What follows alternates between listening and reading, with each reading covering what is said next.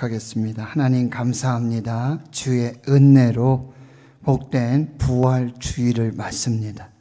부활하셔서 지금 여기 함께 하시는 그 예수님을 대면하여 만나고 예배하고 주의 말씀으로 살아나는 복된 은혜의 시간 되게 하옵소서 감사드리옵고 예수님의 이름으로 기도하옵나이다. 아멘. 할렐루야. 할렐루야. 사랑하는 성도 여러분 행복하십시오. 성령 충만하십시오.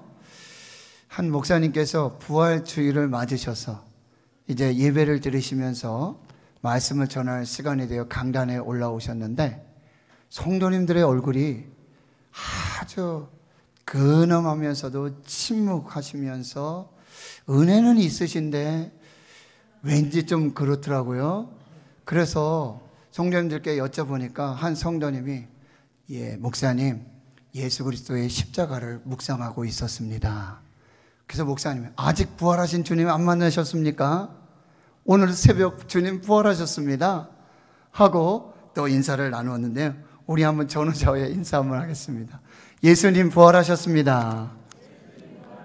다시 한번요. 예수님 부활하셨습니다. 부활하신 예수님은 우리와 함께 하십니다. 한 번 더 합니다. 부활하신 예수님은 우리와 함께 하십니다. 알렐루야. 얼굴이 환해지셨어요. 예수님의 공생의 십자가와 부활은 핵심 사건입니다. 부활이 없는 십자가는 없습니다. 십자가 없는 부활도 없습니다. 예수님의 십자가와 부활이 없다면 기독교도 없습니다. 그러므로 예수님의 십자가와 부활은 기독교의 심장과도 같습니다.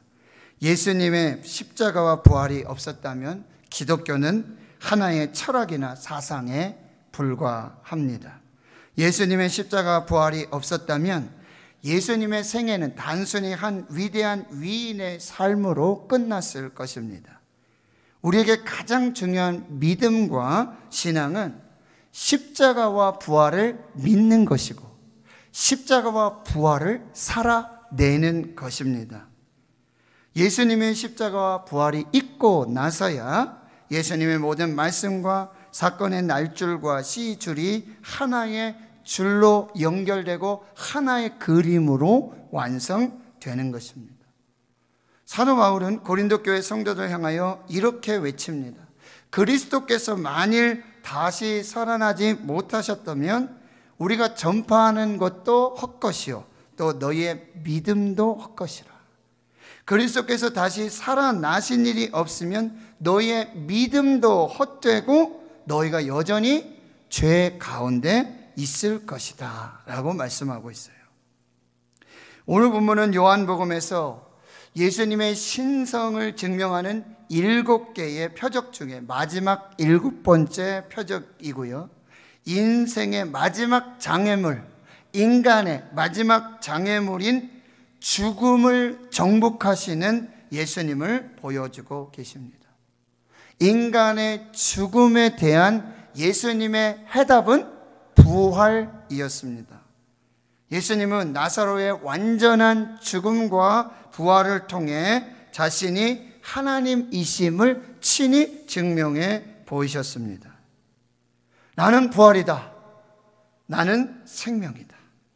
나를 믿는 자는 죽어도 살겠고 무릇 살아서 나를 믿는 자들은 영원히 죽지 아니할 것이다. 이것을 믿으라.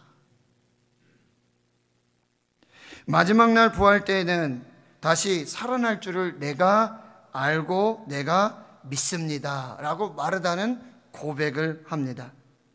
그 마지막 때의 부활은 물론 부활이요 생명 대신 예수 그리스도를 믿는 자들은 오늘 지금 여기서 예수 생명, 예수 부활, 예수 자유를 누리게 되어지는 것입니다. 예수님은 이 나사로라고 하는 선택된 모델, 나사로의 죽음과 나사로의 부활을 모델로 해서 하나님의 영광을 드러내고 하나님의 아들 예수 그리스도가 하나님의 아들이심을 믿게 하시려고. 그리고 하나님이 하시고자 하는 일을 나타내시고자 부, 어, 나사로의 죽음과 부활을 통해서 우리에게 메시지를 주고 계시는 것입니다. 오늘 본문은 오늘 지금 여기에서 어떻게 부활과 생명을 살아낼 것인가, 어떻게 자유할 것인가, 이 메시지를 받도록 하겠습니다.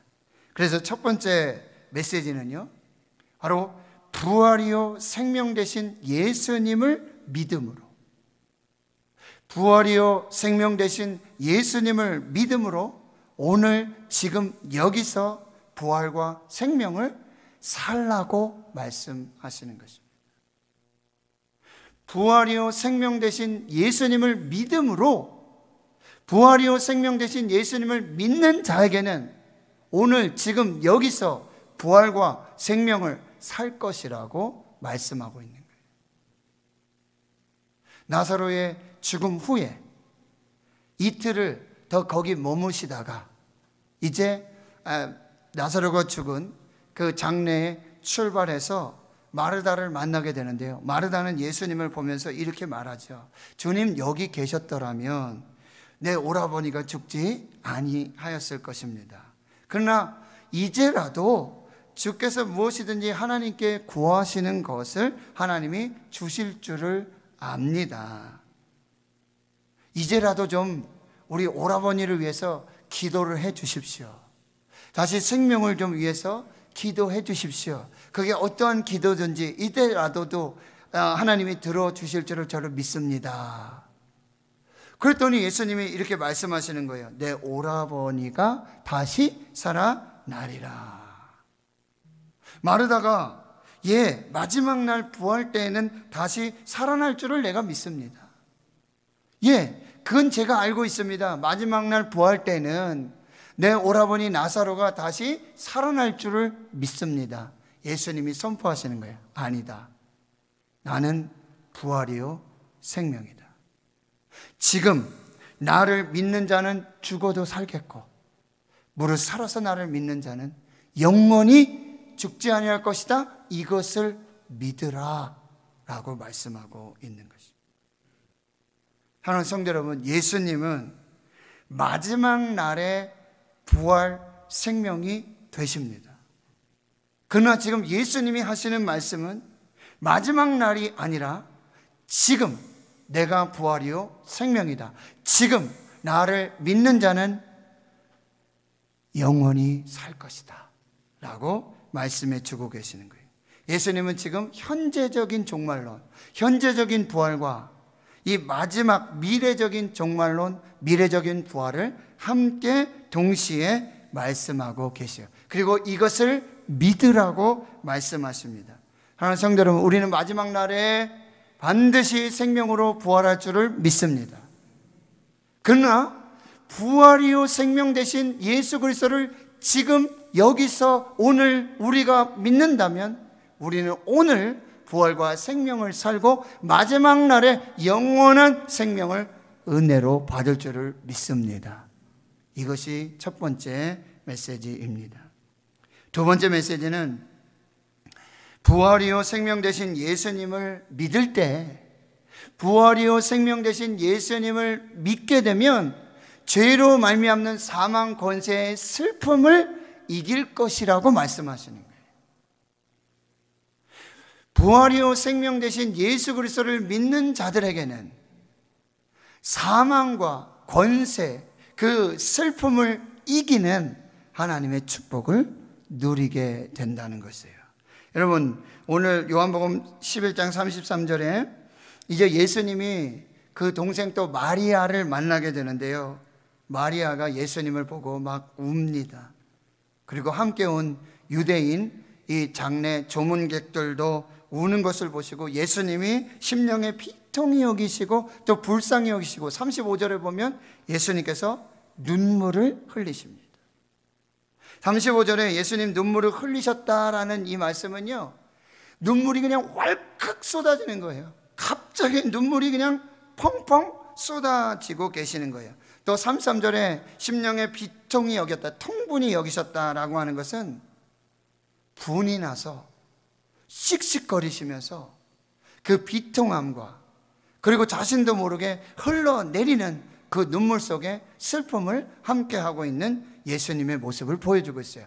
그렇다면 왜 예수님이 이렇게 심령에 아주 비통이 여기시면서 분이 여기시면서 또한 까닭없는 눈물로 눈물을 그렇게 펑펑 흘리고 계시는가 하는 것입니다. 첫 번째 이 예수님의 눈물의 의미는요.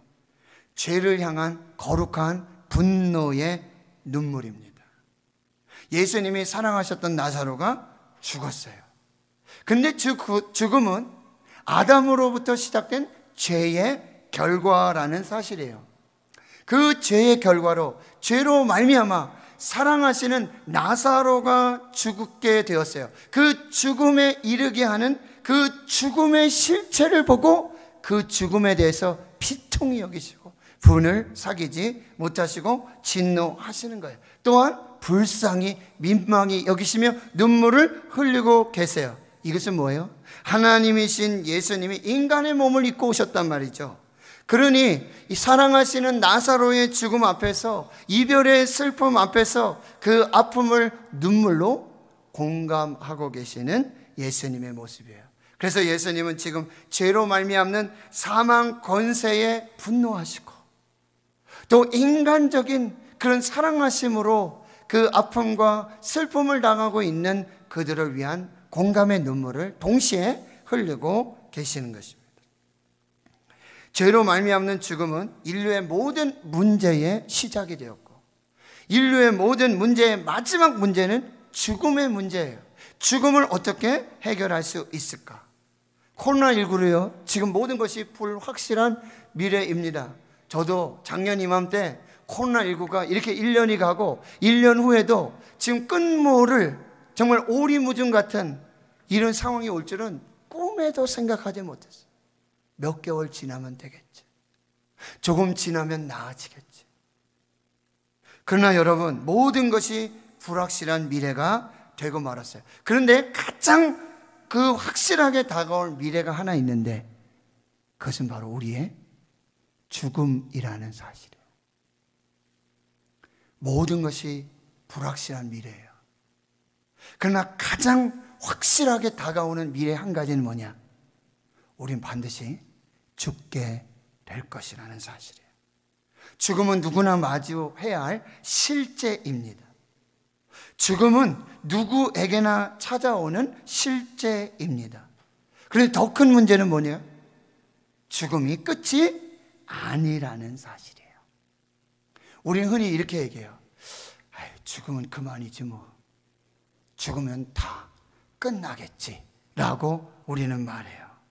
그런데 로벨 문학상 수상자인 영국의 시인 T.S. 엘리엇은 이렇게 말하고 있습니다. 죽음 자체가 두려운 것이 아니라 죽음이 끝이 아닐까봐 나는 두렵다라고 말하고. 성경에서는 분명히 말씀하고 있어요. 죽음이 끝이 아니에요. 죽음 이후에는 부활이 있습니다. 죽음 이후에는 부활이 있습니다. 예수 믿는 자들에게는 생명의 부활이 있고 예수 믿지 않는 자들에게는 사망의 부활이 있어요. 영원한 죽음으로의 부활이 있다라는 사실이에요. 지금 누군 죽은 나사로의 누이 마르다와 마리아 그리고 나사로의 장례 조문객들도 이 죽음 앞에서 울음을 참을 수가 없었어요. 예수님조차도 인간의 죽음을 이르게 하는 이 죄에 대한 죽음의 실체 앞에 그리고 사랑하는 나사로가 죽음 앞에 이별의 슬픔과 아픔을 공감하시면서 눈물을 흘리고 계시는 것입니다. 그러나 그러나 죄와 사망 권세를 이기신 부활이요 생명 대신 예수님에게는 더 이상 죄와 사망 권세가 슬픔이 되지 않는 것입니다. 죄와 사망 권세를 이기신 예수님에게는 더 이상 죄가 죽음으로 몰아가지 않는다는 사실이에요. 그리고 그 죽음이 슬픔이 아니라는 사실입니다. 사도행전 2장 24절에 하나님께서 그를 사망의 고통에서 풀어 살리셨고 그가 사망에 매어 있을 수 없었음이라 말씀하고 있어요. 부활이 후 생명 되신 예수님은요. 사망 권세로부터 자유하십니다. 그래서 죽어서 배로 동인 채로 무덤에 장사된 나사로를 향해서 나사로야 나오라 풀어놓아 자유롭게 하라라고 자유를 명령 하시는 것입니다. 부활이와 생명 되신 예수님을 믿을 때 우리는 죄와 사망의 권세에서 자유하는 줄 믿습니다. 거기서 생명을 얻게 될 줄 믿습니다. 거기서 충만한 영생의 기쁨을 누리게 될 줄 믿습니다. 세 번째 주시는 메시지는 부활이요 생명 되신 예수님이 돌을 옮겨 놓으라고 말씀하세요. 그 말씀에 믿고 순종할 때 하나님의 영광을 보게 될 것이라 말씀하십니다. 예수님이 이제 마르다와 마리아를 다 만나시고 그 유대인 조문객들을 만나시고 이제 다시 무덤 앞으로 가게 되시는데요.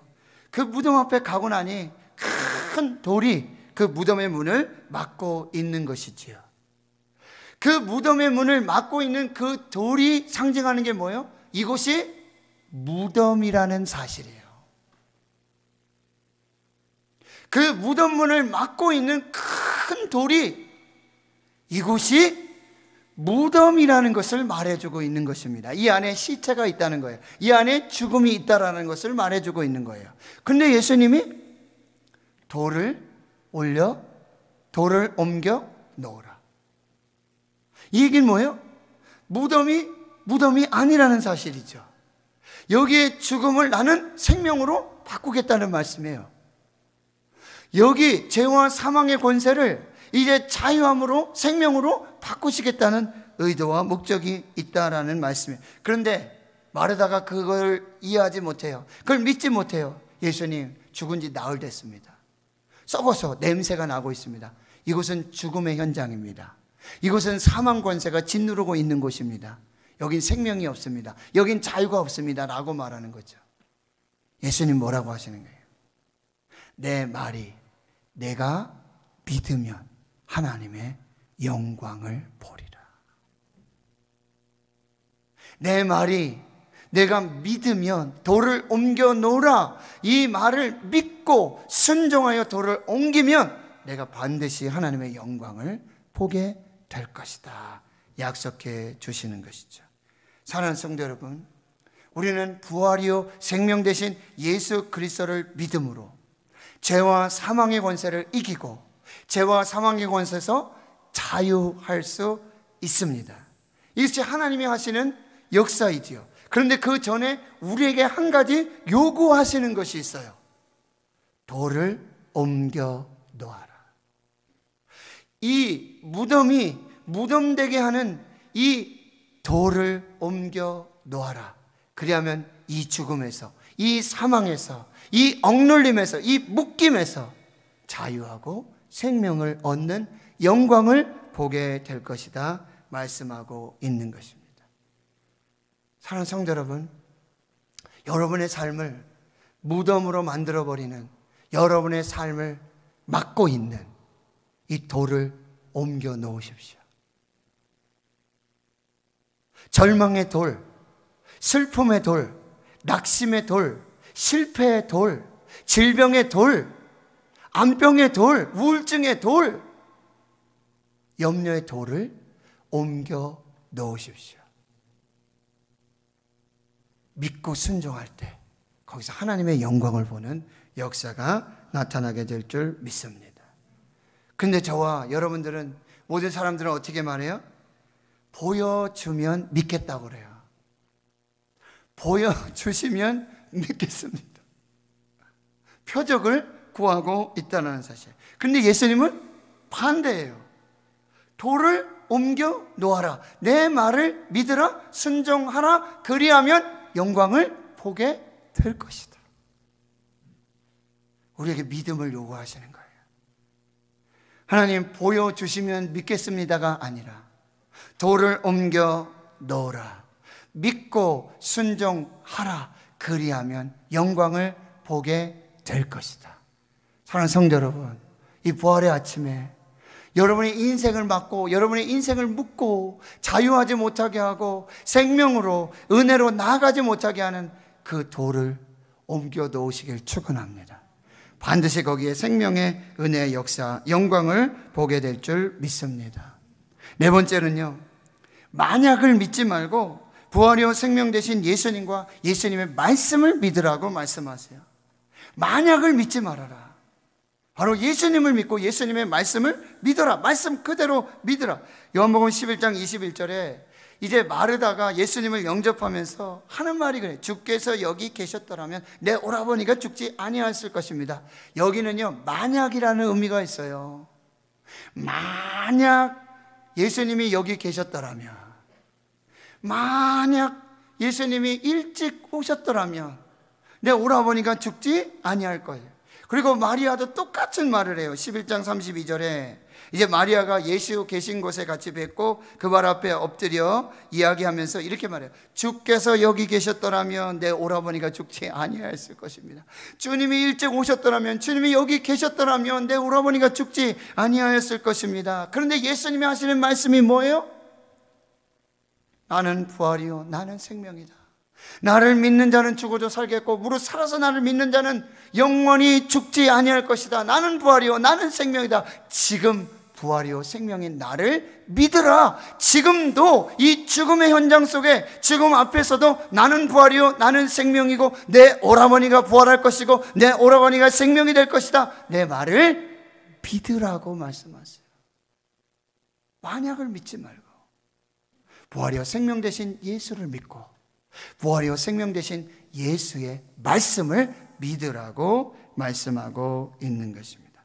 하나님 성도 여러분, 부활이요 생명 되신 예수는 이스라엘 성지 무덤에 계시지 않습니다. 예수님은 무덤에 계시지 않고 세마포에 쌓여 있지 않습니다. 말씀대로 살아나셨어요. 오늘 새벽에 천사들의 메시지가 뭐예요? 너희들은 지금 십자가에 못 박힌 예수를 지금 보려고 왔구나. 너희가 무덤에 온 것은 너희가 새벽을 깨운 것은 십자가에 못 박혀 죽어 있는 그 시체에 향품을 바르고 그 시체를 장사하기 위해서 십자가에 못 박힌 예수를 보려고 여기 왔구나. 그러나 그가 여기 계시지 않는다. 그가 말씀하신 대로 살아나셨느니라. 할렐루야. 오늘 우리가 지금 예배하는 이 현장에 아직도 십자가에 못 박힌 예수를 장례하려고 아직도 십자가에 못 박힌 예수에게 향품을 부으려고 아직도 십자가에 못 박힌 예수를 만나려고 오는 것이 아니에요. 예수님 여기 계시지 않습니다. 그가 말씀하신 대로 살아나셨습니다. 그리고 부활이요 생명 되신 예수 그리스도를 믿는 자와 영원한 임마누엘로 함께 하고 계시는 것입니다. 나는 부활이요 나는 생명이다. 무릇 살아서 나를 믿는 자는 죽지 아니할 것이고 살아서 믿는 자는 영원히 죽지 아니할 것이다. 이것을 믿으라. 이것을 믿으라. 라고 말씀해 주고 계십니다. 하나님 성도 여러분, 예수의 부활은요, 현재적이고 동시에 미래적인 부활입니다. 여러분을 막고 묶고 있는 이 무덤의 돌을 옮기십시오. 믿고 순종하십시오. 반드시 하나님의 영광을 보게 될 줄을 믿습니다. 풀어놓아 자유케 하시는 그 영광을 보게 될 줄 믿습니다. 사랑하는 성들은 매년 부활절이 되면 그리고 특별히 크리스마스 성탄절이 되면 어김없이 온 교회 성도들이 찬양하는 핸델의 오라토리오 메시아를 여러분 기억하실 거예요. 그 찬양 항상 하잖아요. 할렐루야. 그 핸델의 메시아가 탄생하게 된 behind story를 소개하면서 설교를 마치고자 합니다. 이 핸델은 독일 출신이고요. 영국으로 귀화해서 바로크 음악의 전성기를 이루었던 위대한 음악가입니다. 핸델은 좋은 신앙적 배경을 가지고 있었어요. 그러나 명목적인 신자로 살아가고 있었습니다. 56세가 되는 1741년 뇌 일혈로 쓰러져요. 뇌 출혈보다는 조금 약한. 그래서 몸이 불편해지고 또 빚이 늘어가고 친구들도 그의 곁을 한두 사람 떠나게 되어집니다. 술로 인생을 달리면서 좌절과 고독 속에 사로잡혀 있었어요. 어느 날 밤, 그날도 술에 취해 어두운 거리를 헤매고 있는데 혼자 사는 숙소에 돌아보니 한 동료 극작자가 메시지를 남겨두고 간 거예요. 간단한 메모와 성경을 주제로 한 한 편의 시가 그 메모에 적혀 있었습니다. 이사야 40장 1절의 말씀이었어요. 위로하라. 위로하라. 내 백성을 위로하라. 오 주 하나님이 말씀하신다. 주의 영광은 드러나고야 말리라. 모든 육체가 그 영광을 보리라. 핸델은 이사야 40장에 이 메시아의 예언 이사야 선지자의 예언 이 말씀과 그 시를 읽으면서 지금까지 자기 인생이 잘못되었다는 깊 이 깨닫고 회개하게 되어집니다 그리고 그 성령의 감동으로 오선지에 이제 작사, 작곡을 하기 시작하는데요. 1741년 8월 24일, 그날 이후 24일간 그는 먹지도 않고 자지도 않고 방 안에 틀어 막혀서 작업을 하기 시작해요. 때로는 감격에 못 이겨서 울면서 감사하고 찬양하며 할렐루야 하면서 기도하면서 그 작품을 쓰게 되어집니다. 그래서 24일 만에 260페이지 분량의 핸델의 오라토리오 메시아가 완성돼요. 이 전곡을 연주하려면요. 2시간 반이 훨씬 넘는 시간이 걸려지게 돼요. 일부가 바로 예언과 탄생입니다. 2부는 예수의 순환과 속죄. 그 마지막 합창이 우리가 알고 있는 할렐루야예요. 그 주제는 뭐예요? 그 순환과 속죄를 이루고 영원한 왕의 왕이 돼서 주가 주가 돼서 영원히 다스리시고 통치하신다를 선포하고 있고요. 제3부의 부활과 영원한 생명을 지금 이 이야기로 오라토리오 그래서 핸델의 메시아를 완성하게 되어지는 것이죠. 핸델의 메시아를 완성할 때 그 찬양이 울려 퍼지면 어떻게 해요? 객석의 모든 회중들이 다 일어나죠. 그리고 함께 할렐루야 찬양을 하고 그 다음에 하나님께 영광의 박수를 올려드리고 그 다음에 자리에 앉는 이것이 아주 정말 격조 높은 이런 연주회의 그런 모습으로 우리에게 보여주고 있는데요. 그 메시아를 완성하고 그는 이렇게 말합니다. 나는 위대한 주님, 그분과 내 앞에 펼쳐져 있는 하나님의 나라를 생각했고 하나님의 나라를 보았다. 내가 작곡하는 동안 내가 몸 안에 있었는지 몸 밖에 있었는지 나는 알 수가 없었다라고 동료 음악가들에게 고백하고 있는 거예요. 그가 부르심을 받을 때 이 한달은 메시아를 30여 회 이상 연주했어요. 그러나 쓰러지기 일주일 전에 마지막 공연을 하게 되는데 이미 그의 눈이 보여지지가 않아요. 스스로 일어나서 연주를 지휘할 수 있는 그 정도가 되지 않아요. 그러나 마지막 온 힘을 다해서 그 연주를 마무리하고 그 임종을 앞두고 이렇게 말하고 있는 것이죠. 내가 숨지는 날이 고난 주간이 되었으면 좋겠다. 그리하면 부활하신 예수님과 함께 나도 부활할 것이다.